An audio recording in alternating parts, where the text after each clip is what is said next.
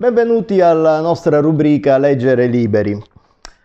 Ma secondo voi la storia di una bellissima ragazza islandese destinata a diventare Miss Islanda, che tutti quanti già vedono sul palco di Miss Islanda, didatticamente a cosa potrebbe servirci?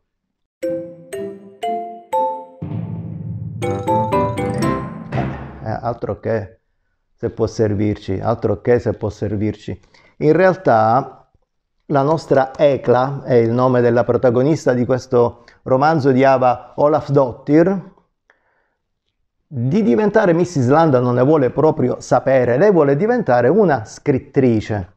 Una scrittrice negli anni 60, perché è negli anni 60 che si svolge questa storia. Immaginate i pregiudizi, eh, gli sguardi allibiti degli uomini che sognano questa ragazza sul palco di Miss Islanda e che invece la vedono frequentare poeti, scrivere poesie.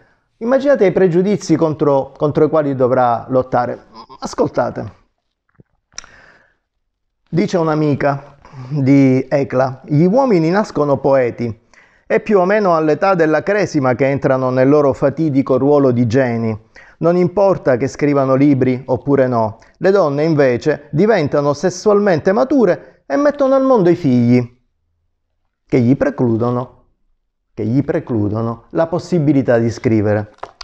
Quindi immaginate la nostra Ecla che ha il nome di un vulcano e questa passione, insomma, che le brucia dentro, la passione della scrittura, che storia dolorosa dovrà attraversare. Allora tutto è chiaro didatticamente, eh, immaginiamo un percorso tipo l'emancipazione della donna nel corso del XX secolo, magari partendo dalla famosa frase di Simone de Beauvoir, donna non si nasce, si diventa, una frase che calza proprio a pennello per la nostra ECLA. E allora, buon libro, Miss Islanda, ve lo consiglio caldamente. E mi raccomando, mi raccomando, frequentate il nostro sito e i nostri canali social.